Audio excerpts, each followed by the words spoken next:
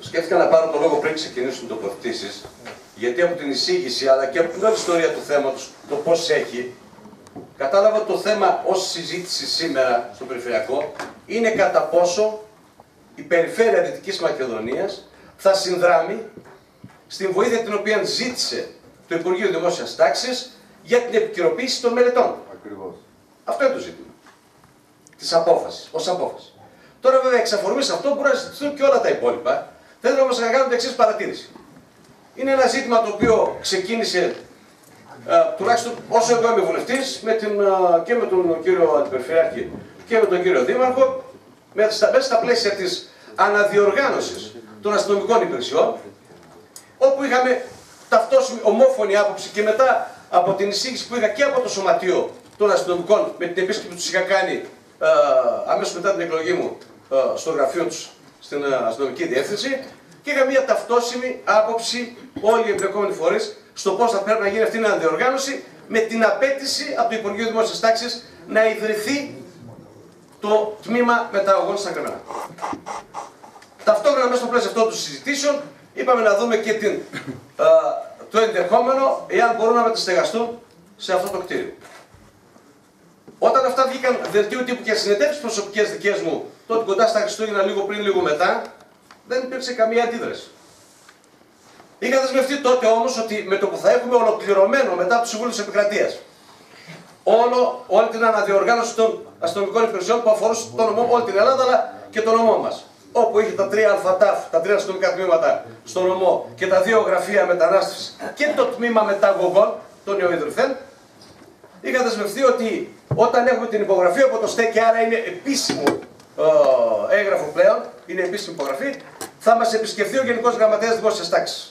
Αυτό και έγινε τις μέρες του Αυγούστου, αν δεν κάνω λάθος, του 10 Αύγουστο, όπου όπου ο Γενικός Γραμματέας μαζί με τον Αρχηγό ήρθαν εδώ, επισκέφθηκαν ε, τη διεύθυνση και το αστυνομικό τμήμα, επισκέφθηκαν τη σχολή, επισκεφθήκαμε το γραφείο του Δημάρχου όπου ήταν ε, και ο Δήμαρχος Δεσκάτης, με τον Αντιπεριφερειάρχη είχαμε συναντηθεί το προηγούμενο βράδυ όπου κάναμε και αυτές τις συζητήσεις σε ένα γεύμα που είχαν παραθέσει ε, στο Γενικό Γραμματέα και στον Αρχηγό. Και αυτά για να ξεκαθαρίσει ότι θα πάμε να δούμε, γιατί ο στόχος ήταν να έρθουν οι ίδιοι, ο Γενικός Γραμματέας και ο να δουν το κτίριο για να, όπως και επισκέφθηκαν και το κτίριο των Αγίων Θεοδόρων για την είδηση των μεταγωγών. Και εκεί υπόθηκε ότι θα έρθουν τεχνικές υπηρεσίες για να ε, προεκτιμήσουν το κόστος του ενός αλλά και του άλλου κτίριου για να δούμε για τη μεταφορά και του της αστυνομικής διεύθυνσης και της τροχέας ε, αλλά και της είδηση των μεταγωγών.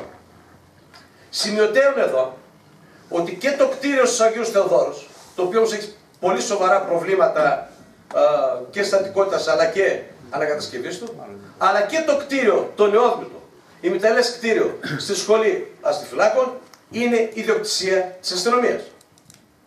Δεν είναι ιδιοκτησία ούτε της περιφέρειας, ούτε του Δήμου. Όταν όλο αυτό το οποίο είχε τη σχετική συνέντευξη τύπου που έγινε, δεν δημιουργήθηκε κανένα ζήτημα. Και κανένας τόλμος. Στη συνέχεια και με τον α, περιφερειακό αστυνομικό, α, με τον αστυνομικό διευθυντή της περιφέρειας, την επόμενη μέρα μιλήσαμε για να δούμε για την αλλαγή χρήσης. Μια αλλαγή χρήσης η οποία από την εταιρεία ακινήτων του δημοσίου έγινε σε χρόνο ρεκόρ, λιγότερο της εβδομάδας, βγάζω δελτίο τύπου και οι υπηρεσίες ότι αυτό έγινε αλλαγή χρήσης και άρα πολύ γρήγορα πάμε στην επικαιροποίηση των μελετών. Έχοντας και την δέσμευση του Περιφερειάρχη και την Περιφερειάρχη μας ότι θα συμβάλλουν σε αυτό το κόστος.